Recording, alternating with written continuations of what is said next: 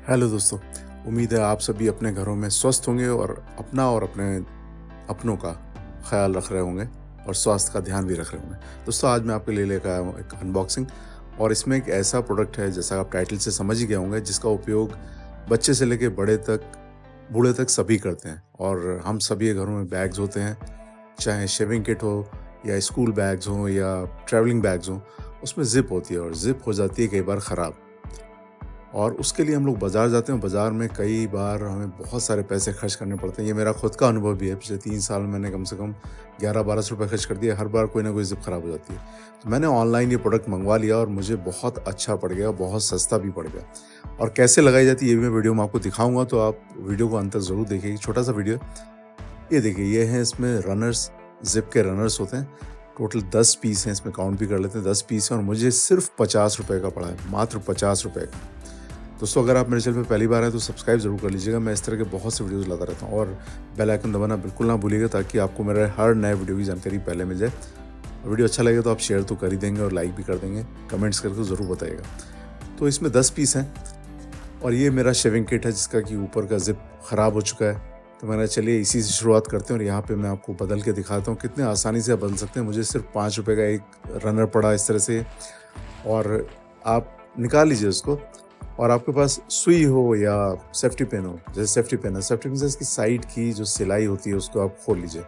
Side की सिलाई निकाल लीजिए तो एक तरफ़ से जिप बिल्कुल फ्री हो जाएगी, दो, दोनों साइड इसके खुल जाएँगे, जहाँ से कि आप रनर को इसमें डाल सकते हैं। तो मैंने इसको खोल लिया, अब निकालते हैं एक रनर जो कि मैंने ऑनलाइन मंगवाया और उस रनर को हम यहाँ इस्तेमाल करेंगे।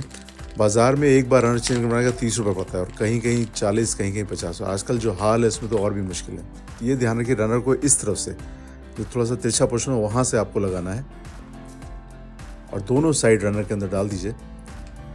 और रनर के अंदर डालने के बाद अलाइन करने की कोशिश कीजिए कि दोनों एक साथ चल पाए आसानी से।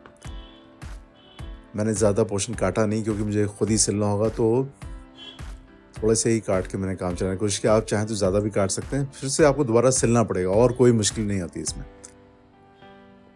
चलिए, कोशिश करता हूँ लगाने की। पहली बार कर रहा हूँ तो इतना आसान तो नहीं है, लेकिन ज़्यादा मुश्किल भी नहीं। तो इससे आप बहुत सारी बचत भी कर सकते हैं और आपके समय का भी उपयोग कर सकते हैं और ऐसे माहौल में बाहर जाने से बच भी सकते हैं। और बैग तो ठीक हो ही जाता है। ये देखिए, बिल्कुल बस मैंने इसको लगाया और बिल्कुल फ़र्स्ट क्लास। जैसे नई जिप होती है, उस तरह से हो गए। और पीछे से आप बस यहाँ टाके मार दीजिए दो तीन। यहाँ पे आप फेविकॉल भी लगा सकते हैं।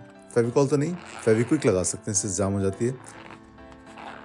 तो आप देख सकते हैं, बिल्कुल कुछ पैसे खर्च करके मैंने बस पाँच मिनट से भी कम समय में अपना बैग सही कर लिया। इसके लिए मैं बाज़ार जाता, पेट्रोल भी खर्च करता, समय भी वेस्ट करता और समय लगता, पैसा भी लगता।